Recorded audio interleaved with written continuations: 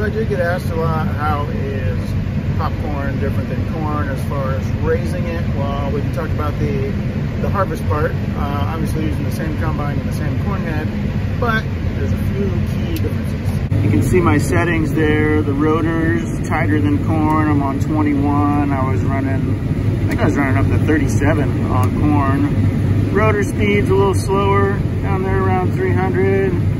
Not quite as much air, and my sieves are shut a little bit tighter. And the other thing is ground speed. I could actually be going faster here.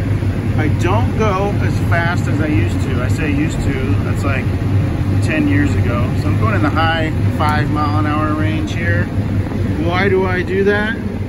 Because mechanical damage is a thing you want to limit with popcorn. Mechanical damage is scuffing up the outer shell, the pericarp of the popcorn. So you want to run a higher ground speed because we're talking 70 to 100 bushel crop versus 200 plus for corn. You want to keep the rotor, the machine full so you've got grain, threshing grain, not a cob bouncing around in there all over the place, bouncing off all the metal inside the combine. So you don't want mechanical damage because mechanically damaged, scratched kernels don't pop, kind of defeats the purpose of popcorn, right? So that's why we run higher ground speed. Same thing with um, the soybeans we raise for seed. We want those to be treated pretty gently, so I run as fast as I can to keep the machine as full as possible while it's threshing. So that's the idea behind that. So as I'm running five and a half, six miles an hour out here in popcorn to keep the machine full, that's I'm probably anywhere from three and a half to four half in regular corn. Now when we switched to a 12 row head like we have now, that was 10 years ago. The first uh, 12 row head we had was 2013. So when we still had an eight row head and a 9670 combine, we had three of those in a row. Um, I would run to keep the machine full with an eight row head.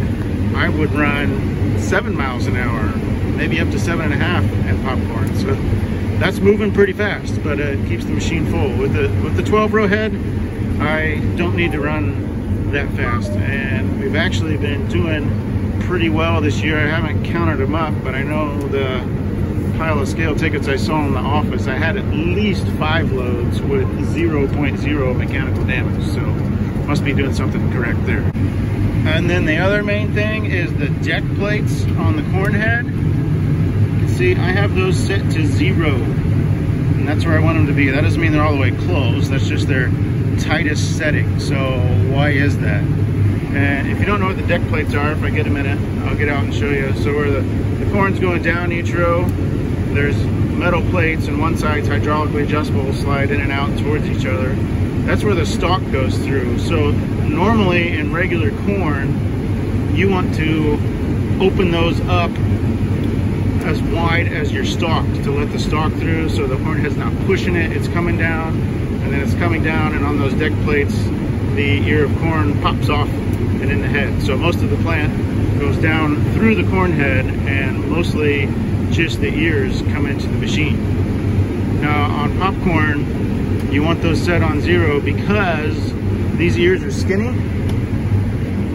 Skinny ears. Let me show you a ear of corn and an ear of popcorn. So there's a ear of regular corn and here's some popcorn. So they're a lot skinnier. Now, a few years ago, I can tell you, not having your deck plates on zero can be an expensive mistake. There's actually a section in the book, adjust the deck plates as close to each other as possible. Raise the cross auger. Uh, we actually don't do that on this new head. It's set pretty low. And if I'm getting no mechanical damage, then I'm okay with that. And I don't have to screw around adjusting the auger between different corn crops. Decrease the corn head back, back shaft speed. Uh, I usually do that uh, as conditions allow in any kind of corn. So deck plates as close as possible. I think there's actual a manual adjustment where you can take the non-hydraulic side and move it a little even closer, but uh, haven't had a need to do that. I was out here doing popcorn. In fact, I was in the field across the road from here it was early in the morning. The stalks were still hanging on and being green. Uh, still some dew around. They were pretty tough to cut. And they just they weren't going through the head very well. I should have waited, but I thought, oh, I'll be smart. I'll open the deck plates just a little bit. And we had just started the field. Sorry, I'm coming to the end of the field here. I'm gonna turn, actually go over to the truck. So I just started that field and we hadn't really been in popcorn. And I don't know, I just didn't have my head in the right spot. I was thinking, um, well, let's open those deck plates just a little. I'll get out and see what the stalk looks like. We'll open them just a little bit and that'll help me go. And it did. And I went and I was thinking, man, the yield kind of stinks in this field. So I went, I loaded a truck or two. I don't remember what I did. Sun came out and I'm like, let's close this thing back down. Uh, my yield went up a lot, like a lot. So right away, I knew what it was those ears were slipping down, some of them probably all the way through the deck plate, and I added it up over those acres. Cost me 8,000 bucks to open those deck plates up. So if you're on popcorn, shut those deck plates down. So you can see the, the silver deck plates under the gathering chains there. They're set on zero. Watch the left-hand one. See it slides, open them all the way up. So you want them closed all the way for popcorn. Here's a closer look at the deck plate. So you can see a little bit how the corn head works. Gathering chains are both going this way, so they're taking stuff to there. Auger brings everything in the middle into the feeder house and into the combine. So you want your stalk to be able to get through. I got the root there, but here we'll flip it over. You want your stalk to be able to go through there. So that's just about the size. The deck plate's a little bigger than the stalk. And then, so when it pulls the ear down, look under here, you got those snapping rolls. They're spinning super fast towards each other. So they pull the stalk down, and so the ear is riding down on the stalk and then gets popped off by the deck plate.